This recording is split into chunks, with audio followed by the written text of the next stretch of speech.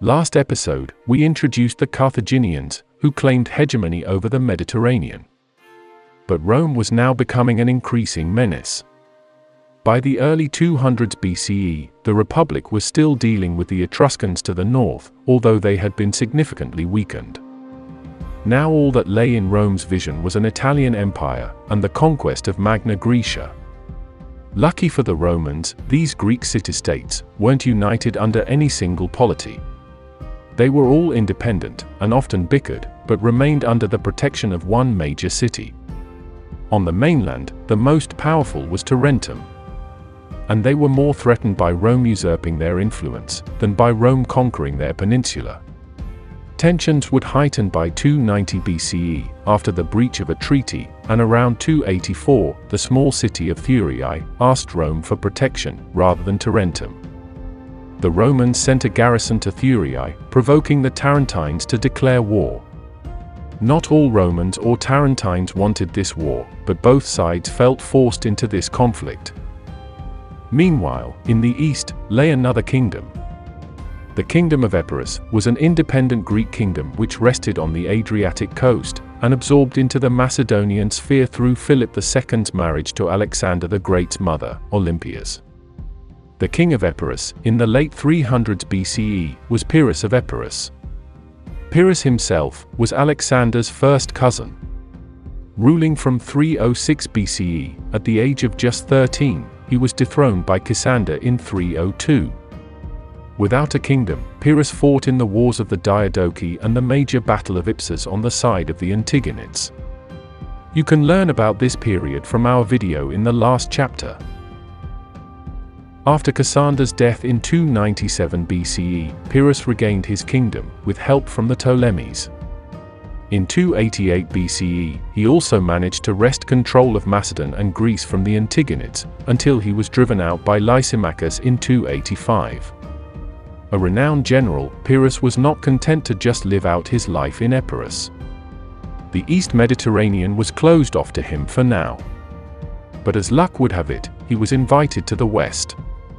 Seeking aid in their newly declared war on Rome, Tarentum called for the military genius. After consulting the Oracle of Delphi, Pyrrhus saw this as an opportunity. Fend off the Romans, and perhaps expand his small kingdom to Magna Graecia, and even Sicily. Using that great wealth, Macedon and Greece wouldn't be so hard to recapture. In 280 BCE, Pyrrhus arrived in Italy. He brought with him around 25,000 troops, consisting of his phalanx infantry and cavalry, but he also brought with him a secret weapon the Romans had not yet seen. He gathered mercenaries along the way, tribes who the Romans had a history of conflict with, like the Samnites. This alerted Rome into action.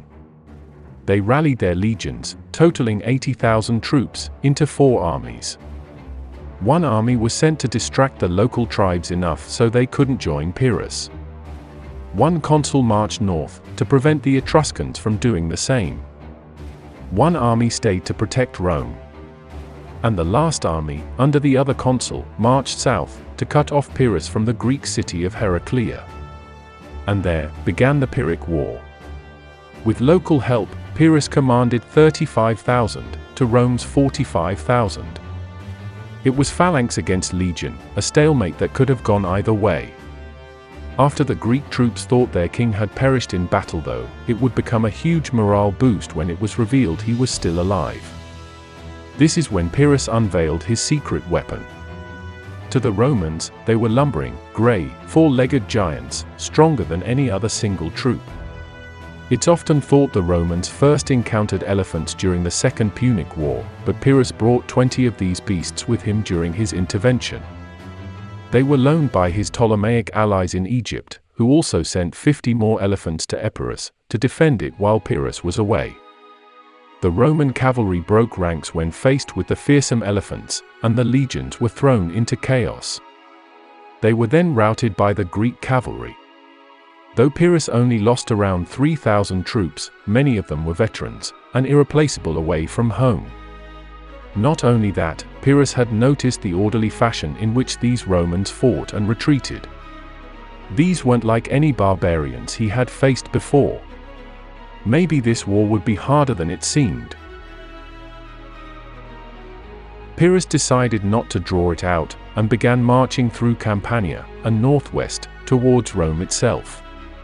The Greek general managed to add troops to his ranks from smaller tribes in the area, but it wouldn't be enough. Rome's defenses were too great. This put Pyrrhus in a very vulnerable position. The Romans had made peace with the Etruscans, freeing up one of the Roman legions to the north to march back south. The Roman army from Heraclea also reinforced itself, and began marching north.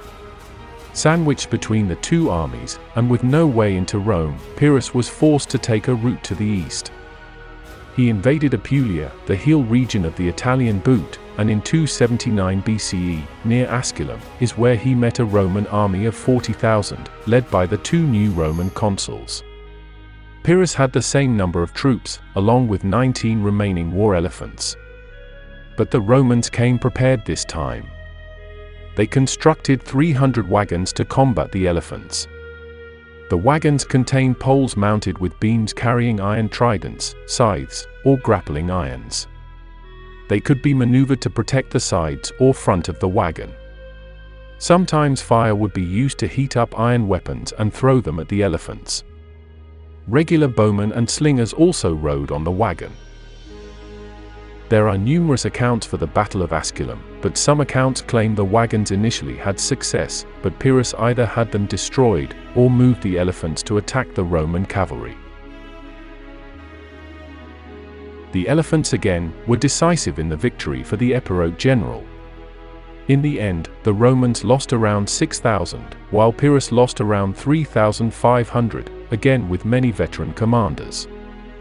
Pyrrhus reportedly claimed after this battle that if they won another battle with the Romans, he would be ruined. This is where the term Pyrrhic victory originates. While Pyrrhus had a hard time replenishing troops, Rome, on home soil, had no such obstacle. Disheartened, Pyrrhus knew it was impossible to continue. But in 278 BCE, he received another plea for help. This time from Syracuse, on Sicily the island he had been hoping to claim since the start. Syracuse had been in an internal power struggle, and sensing weakness, the Carthaginians, controlling the western part of the island, laid siege to the city. Once Pyrrhus arrived though, his army drove them off, and the siege was lifted. A grateful Syracuse proclaimed him king, or tyrant, and with an army reinforced by Syracuse and other neighboring allies, Pyrrhus marched west, conquering the Carthaginian holdings. Carthage was reduced to just the important port of Lilybaeum. Despite the Carthaginian pleas for peace, Pyrrhus besieged the port, but realized it couldn't be taken without a vast fleet. He also looked to attack Carthaginian territory in Africa. During this campaign, he kept extracting resources and manpower from the rest of Sicily, eventually turning it into his own military dictatorship and making him vastly unpopular. Once the Sicilians began to turn on him, Pyrrhus of Epirus thought about abandoning the island.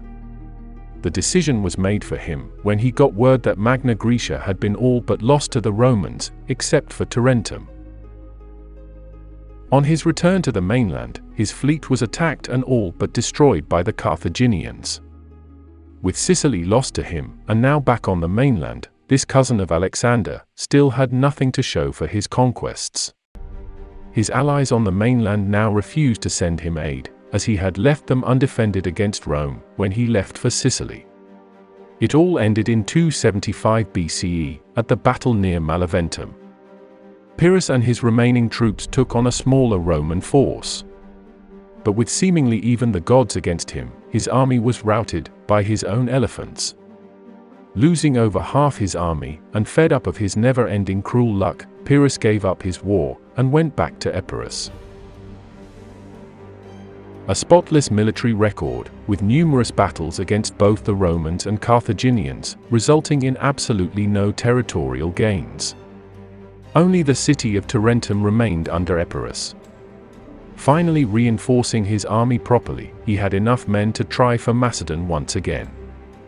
He briefly became king in 274 BCE and became embroiled in a war between Sparta and Argos. Luck never on his side, Pyrrhus ended up fighting in the narrow streets of Argos, and attacked a young soldier. Watching from a rooftop, the soldier's mother hurled a tile at Pyrrhus, knocking him from his horse, and paralyzing him. He was soon beheaded in the muddy streets. A fitting end, for a king who accomplished so much, yet showed so little. Once the Tarentines heard of the king's death, they surrendered to Rome, who now controlled all southern Italy. They later changed the name of Maleventum, which had negative connotation, to Beneventum, which was welcoming and positive. In modern times, it is the city of Benevento. With Syracuse the only Greek presence in the region, this was the domain of two other powers.